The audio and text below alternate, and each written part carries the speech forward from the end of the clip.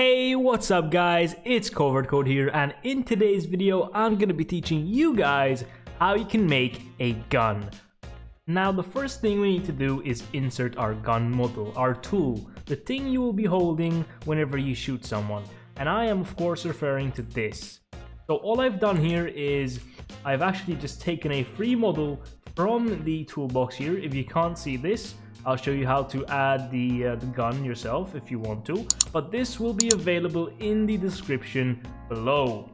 And just in case you guys want to know how I made this gun model, I'll actually show you right now. Um, so the first thing you need to do is go to the toolbox, um, make sure uh, that you can actually view the toolbox. So just go to view toolbox, just click this. Um, and I just searched up pistol mesh. And I just scroll down and, you know, try to find a mesh which would work for this video. So I just went with this, I think. A slightly darker version of this, but it's the same thing. And then all I did was create a tool, okay? Um, I put the pistol mesh inside the tool, hold this handle, make made sure it's not anchored or anything like that okay? And also made sure that it is not can collide on. Then what I did was simply make sure that there is nothing except the mesh inside of the handle okay? I just named this gun and take this right off. That's all I did except a few minor tweaks okay? So um I added a point light object inside of the handle, okay? Um, and also added a sound. Now the sound that I'm using here is free, uh, available from the toolbox, so you can just go get that yourself. But, you know, I provided the fully built, um, you know, this entire object right here with everything inside in the description below. So don't hesitate, just go grab the model yourself and insert it into your own game. Now, the second thing we need to do is put this inside of starter pack.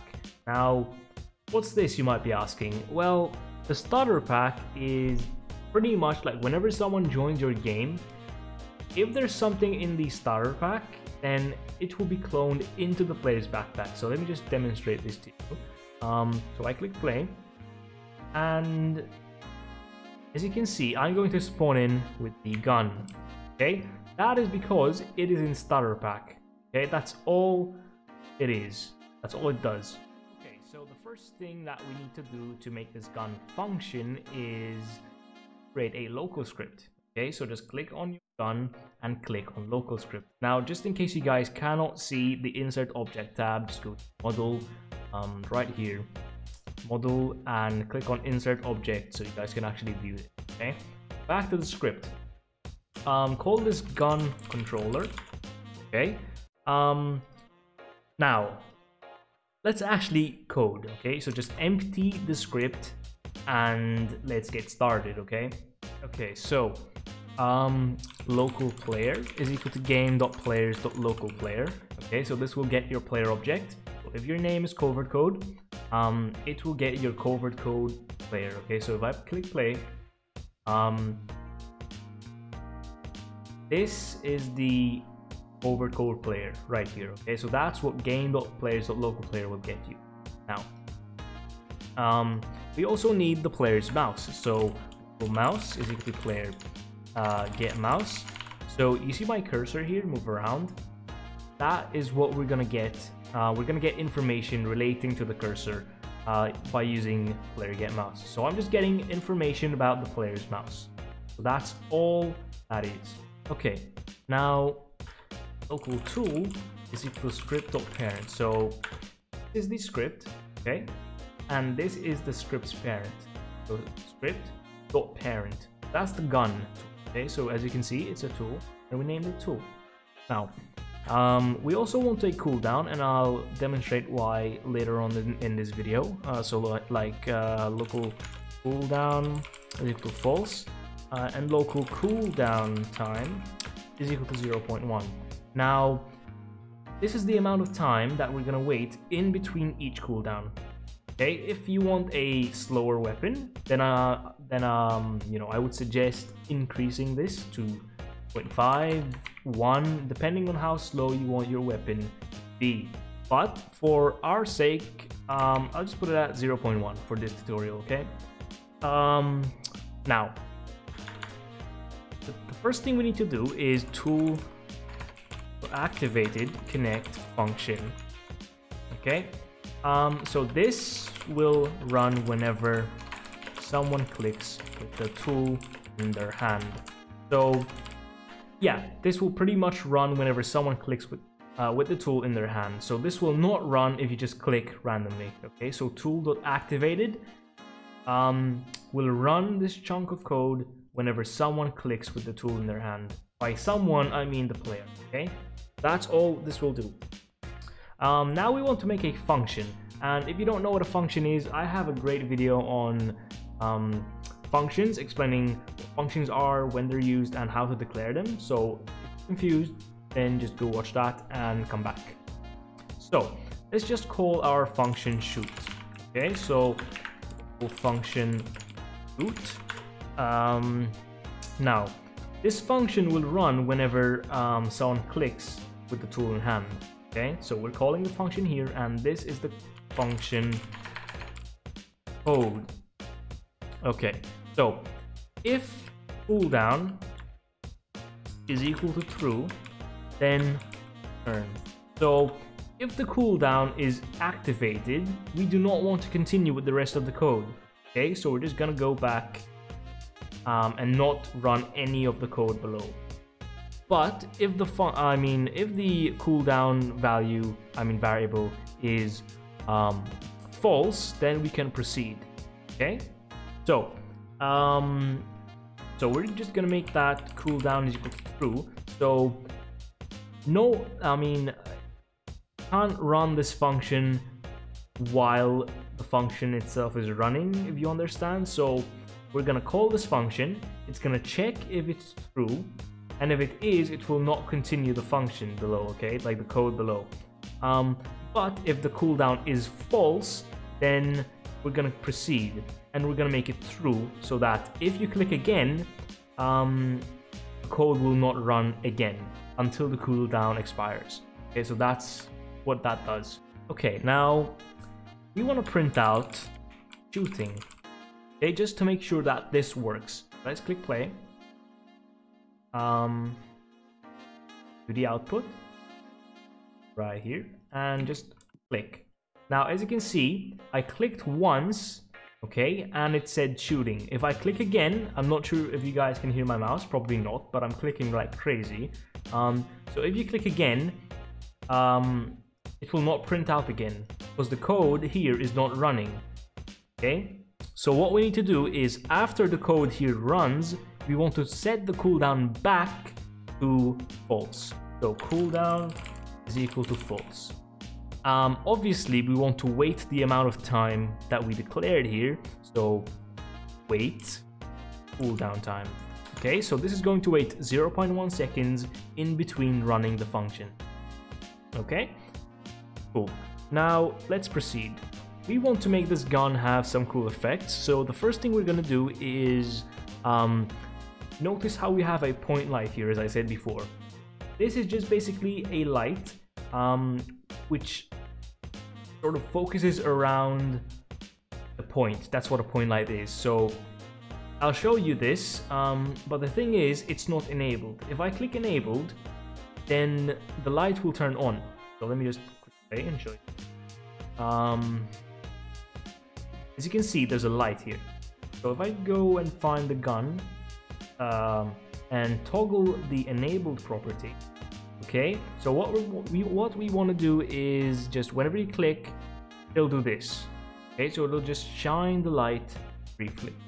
Uh, we want to make this yellow. I'm not sure why it's that right there, but um, so tool handle. I'll explain what I'm doing here. The point light enabled is equal to false. So um, this is the tool dot handle, okay, dot point light dot enabled is equal to false. Okay, so we're turning it off every time the function finishes. But this means that we need to turn it on if we want to actually see the light. So what I'm thinking um, to do this is we'll just have another function called pew. Okay, so local function pew. And in this function, I just copied this. Okay, so copy, paste. And we're just going to change this to true. Okay, so now if I click play, it should toggle on the light and switch it back off if I just do that. So yeah, if I click, the light, um, you know, toggles on and off. Let's go back and get this gun um, closer to completion.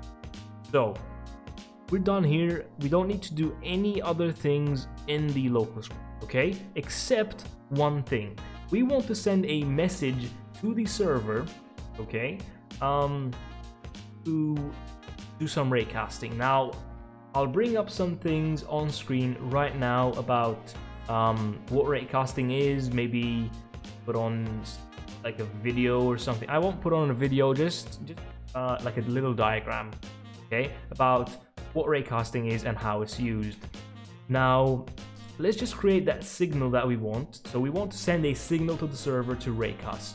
Okay, so don't get confused or intimidated if you don't know what raycasting is. I'm about to show you. Okay, so we just want to create a remote event inside of replicated storage. Okay, and we'll just call this shoot gun. Okay, and then we just need to send the signal. So game.replicated storage shoot gun fire server. Um, and we want to send a few parameters along with the signal. Okay so mouse.hit.p and tool.handle so all we're sending is a position. Okay so if my mouse is here it will send the position in 3d space where my mouse is pointing to. Okay so let me just demonstrate this let's create a part okay make this red uh, change the size. Okay, so let me just drag onto this. If I use mouse.hit.p and my mouse is here, it will return the uh, the position of where this red uh, block is. So let's do that again. If I am moving my mouse and I just uh, run that line of code right about here, where my mouse is, it'll get this information here. That's the position, okay? Okay, so let me just remove that. Um, and now we need to create a script on the server. So there's object, script, normal script this time, not a local script, and call this gun handler. Okay. Delete everything from the script, and now we want to define a few variables. Okay. And if you don't know what variables are, again, I have a video on those. Um, so if you're confused, just go watch that and come back. Okay.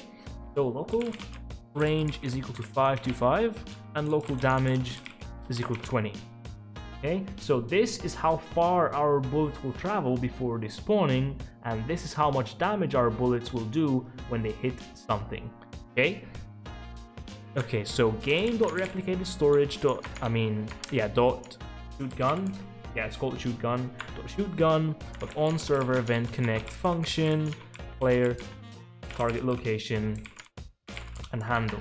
Okay, so all I did here, um, if you remember, I sent a signal from the client, is this local script here, um, with these parameters, okay? Um, by the way, tool handle is just the handle here, okay? Um, and this here is just receiving the signal from the client. This is on the server and it's receiving the signal um, and it's taking these parameters. Okay, so the player parameter, this is the player who sent the signal. So if I shoot a gun, this will be covert code. Okay, now this is the target location. Again, mouse.hit.p, that's the first parameter there. And this is handle, which is this. Okay, so that's um, pretty much how remote events work. Now we need to get into slightly more detail about, you know, how our gun will actually work. Now, first thing we need to do is if player.character is equal to nil, then return. So all this is going to do is make sure their character exists, okay? So that's what that's gonna do. If it doesn't exist, if their character doesn't exist, it's gonna return. It's not gonna run the code below, okay? Um, handle.sound play. So I have a sound in my handle here. Okay, so it's just a typical gunshot sound. Um, so whenever we click using our gun, a sound should now play. Let's test that out. Load. Okay. Um. So yeah, that's a gun sound. So now that works. Now we want to actually create um a sort of you know a like like a beam. So imagine uh let me just get a part here. Okay. Part here. Change the color to yellow. Um whenever you shoot the gun, it's gonna have a beam like this from where you shot this. So again, let me just do this. Um, so this is gonna be red. That's where you shot it from. So that's the pistol. And this is where it ended up hitting. Okay, so the um, the black is where it hit. Okay, so this is the ray okay that we're gonna be modeling okay the gun the target this is the ray okay? Now get the gun handler script open yet again and let's create uh, that beam using instance.new so local beam is equal instance.new part workspace okay? So we're just creating a new part inside of workspace then assigning it to this variable called called uh, beam. Now beam dot brick color is equal to brick color dot new new yellow. Okay, so this is the color that we want. But obviously change this to any color we want really. But I'm going with new yellow because I think that's the ideal color. Okay, so let me just delete this. Um, beam dot form factor need to custom. Now this isn't any like it's not too important. It's just uh, to make sure that you can resize your your part to any sort of dimension that you want. So if you want to actually leave that out, okay, but I won't. I'm just including that just to be um, you know safe. Uh, next thing is we want to change up the transparency. So beam.transparency is equal to 0.25. This is how transparent the beam will be naturally. Um, and now we want to change up the material of the beam. So beam dot material is equal to neon. Okay. Uh, again, let me just undo that. Delete and delete. So all we did now is change this to 0.25 and made that neon. Okay, so this is what our beam looks like so far. Okay, so let's go to gun handler yet again. beam dot Beam.anchored is equal to true, so it won't just fall out of the world. We want it to be anchored. Um, and beam can collide is equal to false. So players cannot just jump onto your beam and like, you know, just walk on it. You know, they cannot do that. So that's why can collide is equal to false. Now, this is where we get into some maths. Oh no, God! No, God, please, no! No! No! No! Now, I'm gonna put some like diagrams on the screen now do not have to understand these. Ideally, yes, you would understand, you know, what they're doing and what well, um, what we're doing here. But uh, if you don't understand, that's perfectly normal. Um, just follow along with the code, and the maths will come to you eventually. Cool. So local distance equal handle handle dot position minus target location dot magnitude. So if you know what Pythagoras theorem is, that's what we're doing now. If you do not know what that is, just don't worry about this. Just copy these few lines of code, okay? We need this uh, portion of math here just to make sure that we position the beam correctly, okay? So beam dot size is equal to vector3 dot new Now, this is going to be the thickness of the beam. So I'm going to make this 0 0.1, 0 0.1, and distance. So it's going to be 0.1 tick on the x-axis, 0.1, my bad, not tick, um, 0.1, this is the size of the beam. So it's going to be 0.1 on the x-axis, 0.1 on the y-axis, and whatever distance is on the um, on the z-axis. Okay. Combined information about position and rotation. Okay, if you don't know what that is, it's kind of advanced, it's okay. Just think of it as a sort of book which you open and it tells you everything you need to know about a part's position and a part's rotation. Okay, and we're just going to be modifying that to make sure it fits within our, you know, our requirements. Okay, um, so it's going to be handle position, target location. I'll show you why in a second. So if they're not new, 0, 0, minus distance on 2. Okay, so what we're doing here is if you put two positions inside of a C-frame, it's going to make position A face position, I mean uh, position B. Okay, so yeah, that's what that does pretty much. And then you're just adding additional C-frame, okay, to the Z-axis. So we're just moving it half of the distance in the z-axis, but then you're adding a subtraction in front of the so just makes it so instead of moving to the right, you're moving to the left. Okay, um, so this is math. Okay, so if you don't know what that is, it's okay. It's okay. Don't feel bad. Um, you'll eventually get the hang of it, but you do need some form of math mathematical knowledge when it comes to like, programming Why are you crying? Um, but just starting out, that's fine. If you really want to push yourself, then learn about C-frames and learn about Pythagoras theorem, okay? Okay, so after a bit, we also just want to, um, we don't want this, like, let me just show you what I mean here. If I click play and I click anywhere, the beam is gonna spawn just fine. Okay, it should spawn just fine. Let me just check. Okay, as you can see, there's a beam here which is spawned from my pistol or where my pistol was to my target. So if I click again here, beam spawned where we said, or where we predicted it would spawn. Only issue is that the beams are not being destroyed. We do not want the beams staying around for a long time.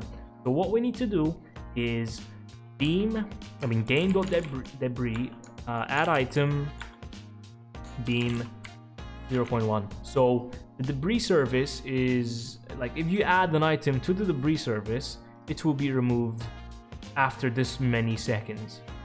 Okay, so we're just deleting the beam after 0.1 seconds. That's pretty much it. So this is destroyed. So this is ray casting right here. So this is ray casting. Okay, again, this involves some maths. Okay, uh, again, you do not need to know what's going on. This is slightly, I think this is slightly more advanced than what we did here. So if you did not understand what we did here, it's okay, just follow along. And by follow along, I mean just copy this, these lines of code. But essentially what this is doing is shoot a ray. Okay, so array, imagine this is our array here. Okay, let's use that analogy again. Uh, so this is our uh, our gun, okay? And this, this here is our target. Let's make this uh, green this time, okay? So this is our target here. Now, the ray starts off uh, inside the handle, okay? And it will shoot according to what speed we want it to move, okay? Actually, we don't dictate this, just moves on its own, okay? So we're moving it in the direction of our target, okay? And it just keeps on moving infinitely until it reaches target or unless we specify a range. Okay, so array is basically this motion here. Oop. It hit something, therefore we have to do something it. Okay, so it's a ray you just shoot it. um, get wherever it hit or whatever it hit. Okay. Okay. So we did that. Now local. We're gonna dictate the direction of the ray now. Ray direction equal to target location minus handle dot position. Okay, so you're just subtracting the the positions of where the player clicked and the handle's position. Okay, and then you're gonna multiply that by the range. So this is how far you want the ray to travel before stopping.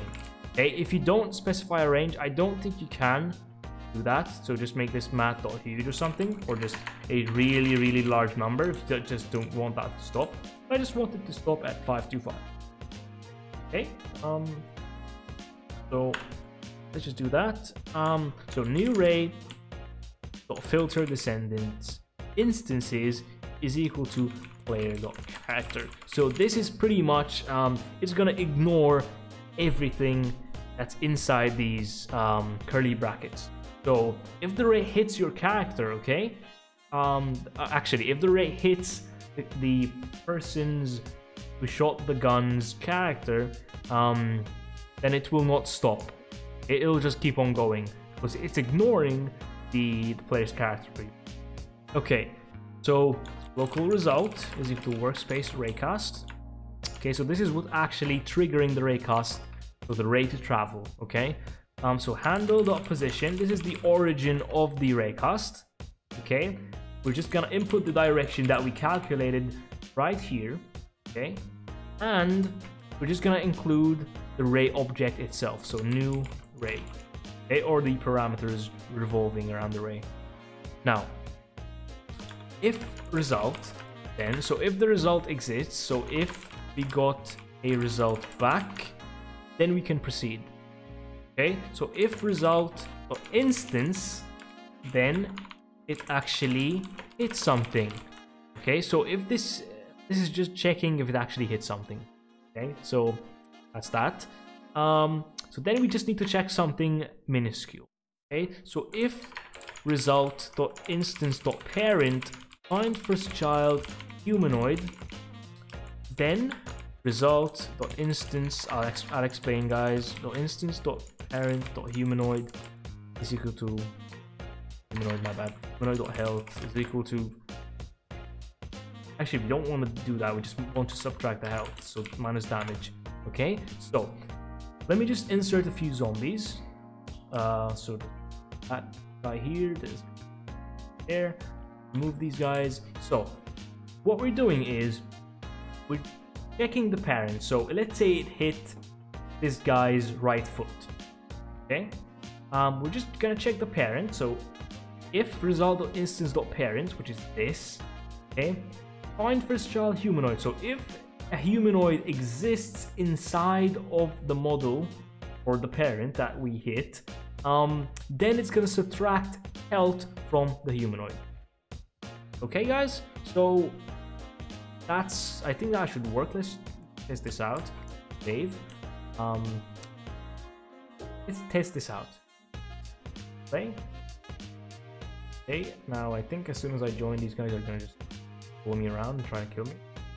Uh, yep. So, as you, as you guys can see, um, it works. You know, it has a maximum range. So let me let me try and shoot from the other side of the map here. Uh huh. Yep. So you can spam that. It works. It's fine. Um, if you guys wanted to make the gun slower, as I said, just go to the gun controller local script and increase this time to let's say one second. That's pretty slow, but let's let's show you guys what that looks like. Play. Okay. Just equip your gun and I'm spamming my mouse hard right now and it's only shooting that fast. That's pretty bad. So you would use that for something like a semi-automatic rifle, for example, okay? Um, and if you wanted to make it uh, do more damage, then you'd go to the gun handler script inside of server script service, okay? And increase this damage variable here. So let's change this to a hundred. Okay, so this should be insta kill, I think. Let's play. Uh, and yeah, it's insta kill. Okay, so there you go. So that's how you make a gun on Roblox. Now, if you guys like the video, uh, please leave a thumbs up. Um, and yeah, I mean, subscribe. I mean, yeah, I, I don't really can I say, guys, I enjoy making these videos for you guys. I'm trying to educate you on how you can make things. Uh, I would really appreciate if you guys could just like the video. It'll help me grow because I want to reach more people. Thank you guys for watching, and I'll see you guys next time.